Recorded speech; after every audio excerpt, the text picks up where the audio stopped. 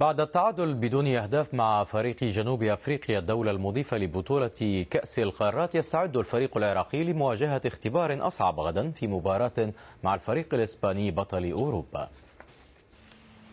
الفريق العراقي الذي فاجأ العالم من قبل بفوزه ببطولة أسيا على الرغم من الظروف الشديدة الصعوبة حقق في افتتاح البطولة في جنوب إفريقيا مفاجأة أخرى بالتعادل السلبي مع فريق الدولة المضيفة وأمام خمسين ألف مشاهد متحمس من جمهوره.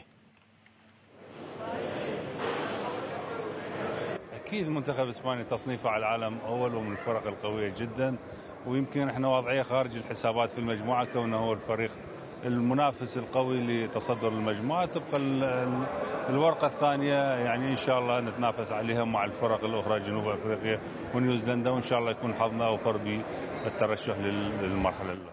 يأمل الفريق العراقي الذي يلعب بروح معنوية مرتفعة وبلا إصابات أن يؤدي مباراة جيدة تليق ببطل آسيا في لقائه مع الفريق الأسباني بطل أوروبا. الفريق الأسباني فاز بخماسية نظيفة على فريق نيوزيلندا ويحتاج الفريق العراقي أن يكون في أحسن حالاته حتى يتفادى هزيمة مماثلة. عادل شعير بي بي سي.